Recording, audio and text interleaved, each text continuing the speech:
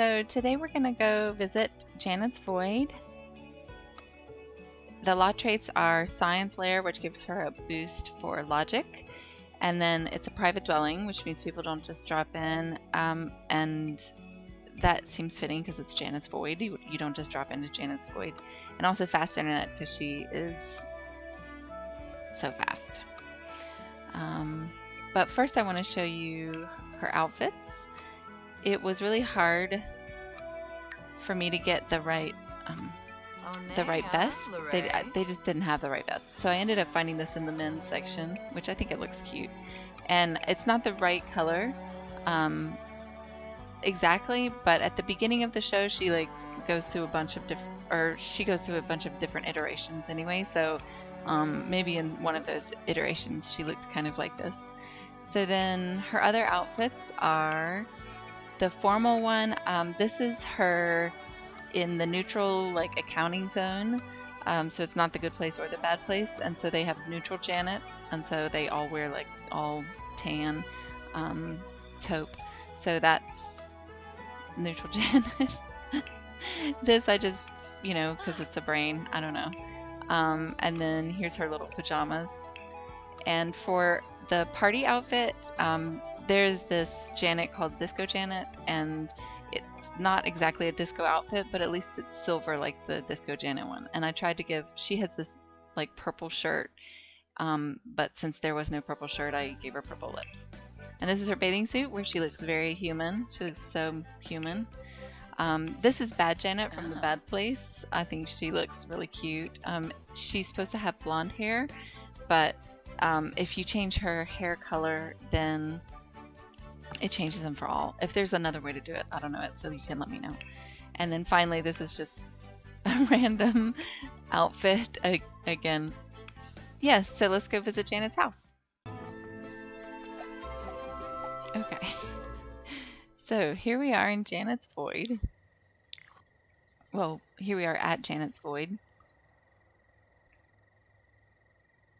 But he's just hanging out, I guess. Um, great.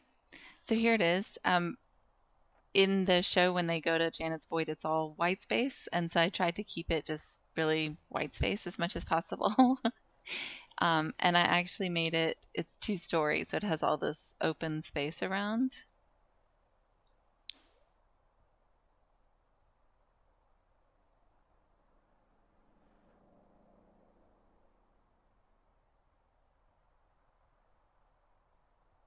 What is she eating? Applesauce. Oh.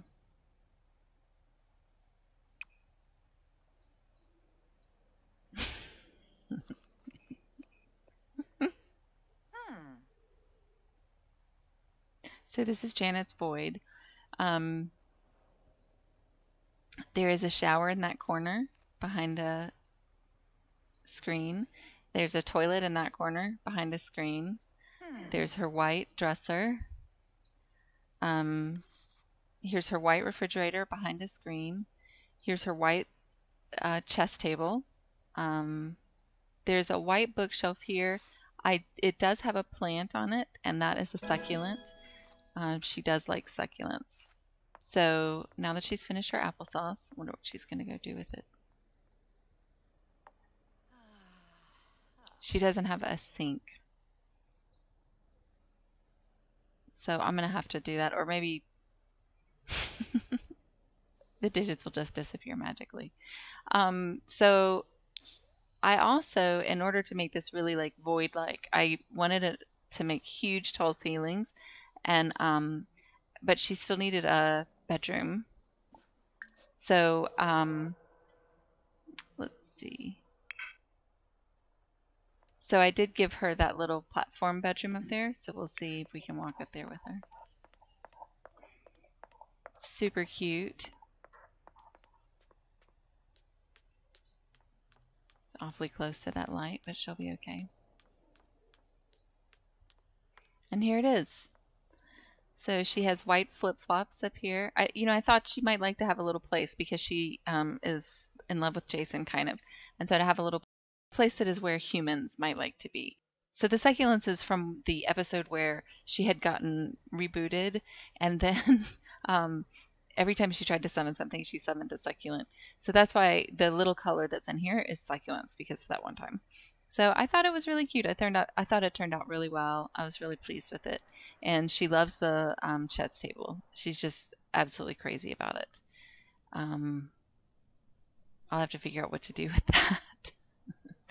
um, but anyway, so yeah, that's Janet's Void. Uh, I hope you like it.